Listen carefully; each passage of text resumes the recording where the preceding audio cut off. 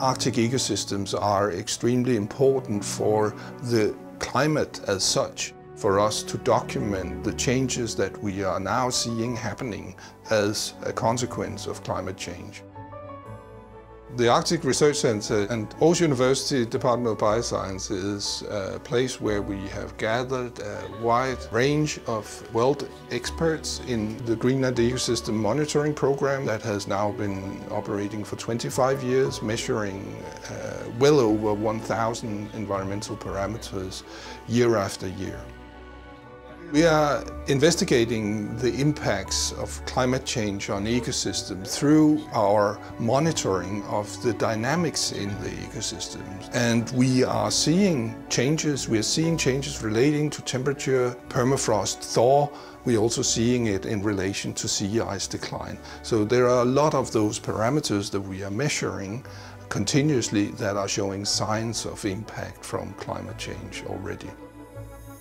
I'm interested in understanding the link between physical changes, chemical and biological changes in the ocean. We don't know very much on what happens in the currents around Greenland. So what we're trying to find out there is actually what is the water masses and how does it fit into the more global picture.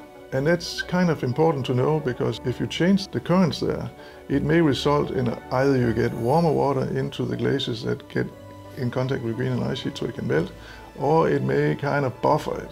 So we are developing equipment that can, we can leave out there for a whole year and then transmit the data directly into our computers and then take out the data. I combine three different methods, you can say, sort of traditional community-based functional ecology. We look at which species are in an area, uh, how much do they cover, and how do they interact with each other. The second approach is dendroecological approach, where we dig out the shrubs, we cut them over and we count how old they are and assess variation in, uh, in cell sizes. But for understanding the magnitude of these changes, we need other tools. So there we are using drones, the newest technology on sensors and satellites to upscale the local information across the landscape. And when we have upscaled that across the landscape, we can start building models that tells us something about what would be the potential changes into the future. In the case of my work, we are mainly focusing on the top of the ecosystem because we are dealing with relations in climate change, but also the effect of the contaminants in these uh, top predators. The major goal is to uh, reduce the contaminant loads of these uh, animals. So we're investigating uh, the exposure which eventually, eventually gets into the Inuit population.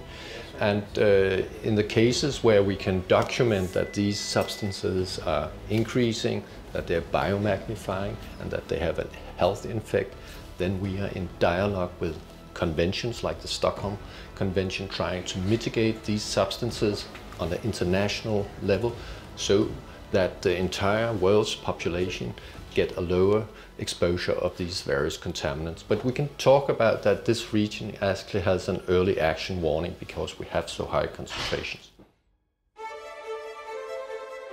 In the Arctic, a number of sort of ecological processes is uh, going at a slower pace because of the cold climate, because of the darkness during winter, because of the ice cover. And that makes the Arctic ecosystems often more sensitive, but also sensitive in a different way than in more temperate areas.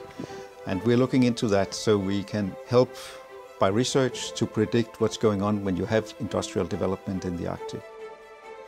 We are very much focused on some of the old mines in Greenland, where mining was done in the last century and where in some places the pollution was uh, pretty heavy.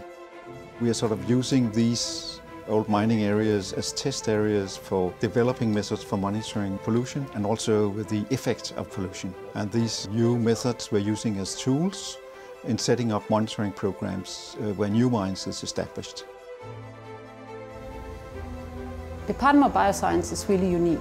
We are embedded in this network of scientists we have the knowledge on all compartments of ecosystems, the bios, the geos, the cryosphere, and we have, the, we have knowledge on the new technologies, are the skills to apply them and understand the changes.